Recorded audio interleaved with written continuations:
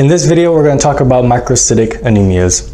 I said that microcytic anemias were due to a problem in hemoglobin synthesis. In our last video, we talked about the importance of iron, and we also talked about what can go wrong in the creation of heme, things like lead poisoning and things like sideroblastic anemia. In this video, we're going to go a little bit more in depth and see how these three can cause microcytic anemia. We'll start with iron. Iron, as you know, is an important part of heme. It's right in the center is what binds oxygen. And unfortunately, iron deficiency is incredibly common in the world. But before we go into that, I just want to show you how we absorb iron in the first place. Iron exists as both Fe2 plus and Fe3 plus. Fe2 plus is found in animal sources. Fe3 plus is more in more in plant sources. Uh, we have to reduce Fe3 plus to Fe2 plus to absorb it.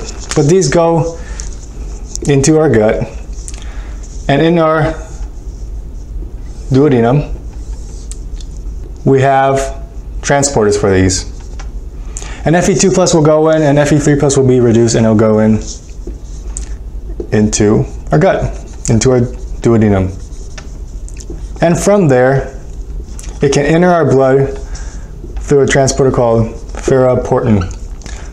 So Fe is now in our blood, and that's a problem. We can't have free iron in our blood because uh, free iron is a free radical. So we have a transport protein called transferrin. And transferrin binds Fe and transports it where it needs to go. So Fe can be used or it can be stored. And when it's stored, it's stored as ferritin. That's how we store it. This is how we absorb iron, but there's not a good way to excrete iron. So our absorption has to be highly regulated, and it's regulated by a protein called hepcidin. So your liver makes a protein called hepcidin. So hepcidin. And hepcidin will block your ferroportin transporter, and that regulates your absorption. Makes perfect sense. Now we can draw blood and see how all of these are functioning. We can see the level of iron in our blood. So I'll just write labs for iron. We can check serum iron, that's just the iron in our blood. We can check ferritin, that's our iron stores. So stores. And then lastly, we can check something called TIBC or total iron binding capacity. What the heck is total iron binding capacity? What binds iron in your blood? That'd be transferrin, right? And so TIBC is basically a measure of transferrin. Measures transferrin. Here's something important you should know. Ferritin and TIBC, ferritin and TIBC are inversely related, always. So for example, if you have a decrease in iron stores, if you have a decrease in ferritin, TIBC will always be increased. Why is that? Let's see if we can reason through it. If you have a decrease in iron stores, a decrease in ferritin, then your body says, I need to bind more iron, I need to grab more iron and store more. So, so your liver will start producing more transferrin protein. You're gonna try and bind more transferrin, so TIBC will increase. If you have increased iron stores, then your body will say, I don't need any more iron. I don't need any more transferrin. I'm going to make less. So TIBC will decrease. Makes perfect sense. And so just know that these are inversely related. These are the main labs we take when we're looking for the iron levels in our body. So what kind of labs do you expect to see if you're iron deficient? How about your serum iron? Will it be high or low? It'd be low because you are deficient. How about your ferritin stores? Would it be high or low? It'd be low because you don't have iron. And because ferritin is low, I don't even need to look at this. What would your TIBC be? It'd be increased. It's always inverse. So those are the signs of iron deficiency on your labs. How do you treat it? You treat it by giving iron or you treat the underlying cause. Now, sometimes it's not as simple as a patient's not eating iron, that's why they're iron deficient. Sometimes there's some underlying cause, and the main underlying cause that you should not miss is bleeding. Yeah? They're bleeding, and that's why they're losing iron in their blood. So bleeding.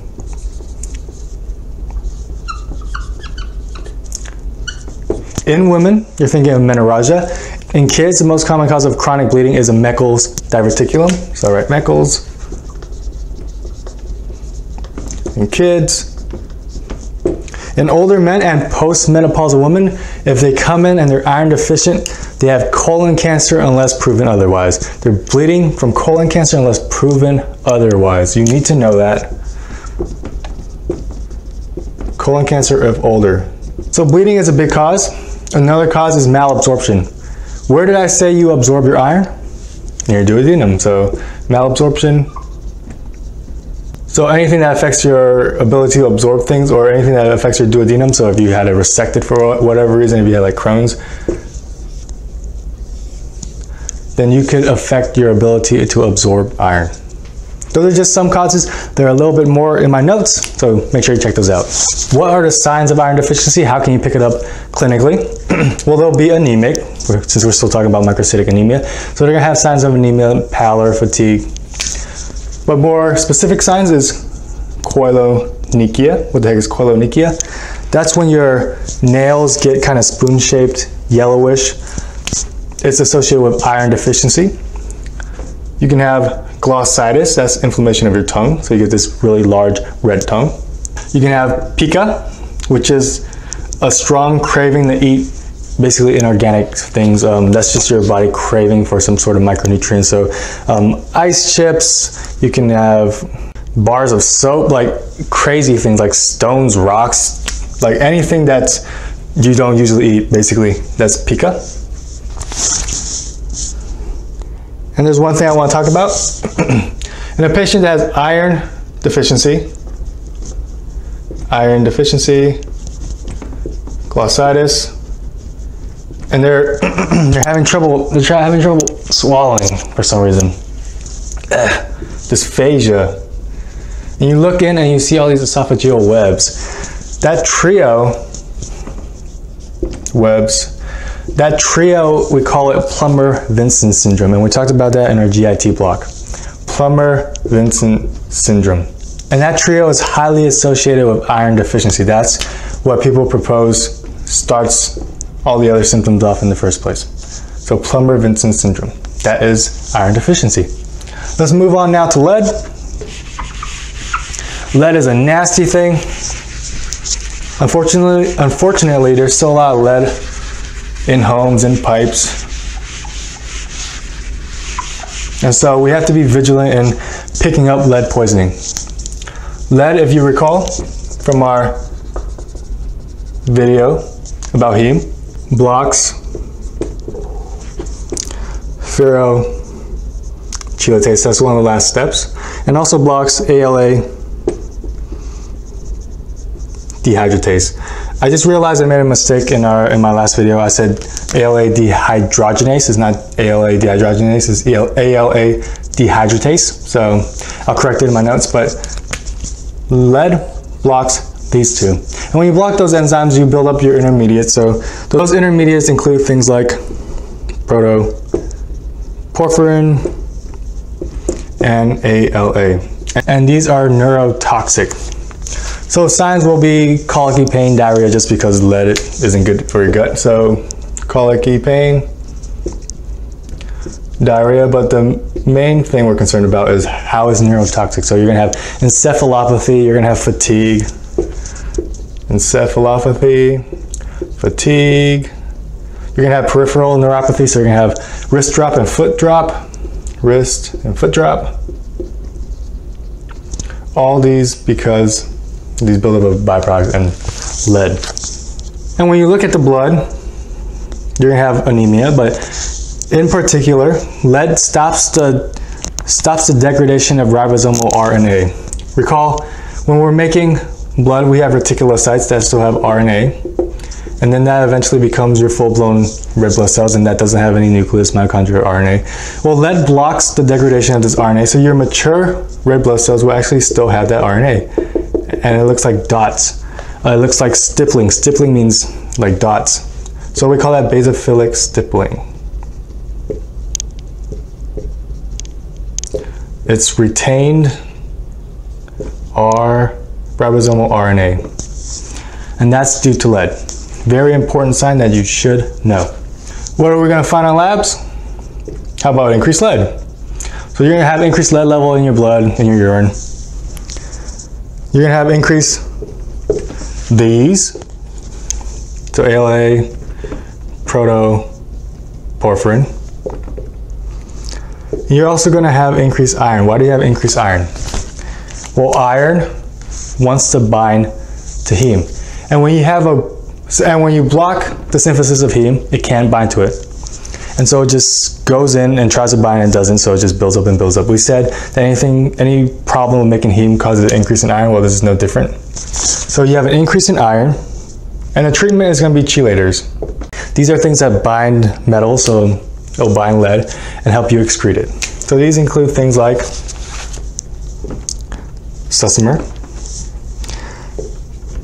penicillamine, not penicillin, penicillamine, and dimercaprol. Dimercaprol is more for um, really severe lead poisoning because dimercaprol can pass the blood-brain barrier and really help in, I guess, the encephalopathy part. That is lead. So we talked about lead, talked about iron, let's talk about sideroblastic anemia. Sideroblastic anemias we discussed briefly when we talked about ALA synthase deficiency.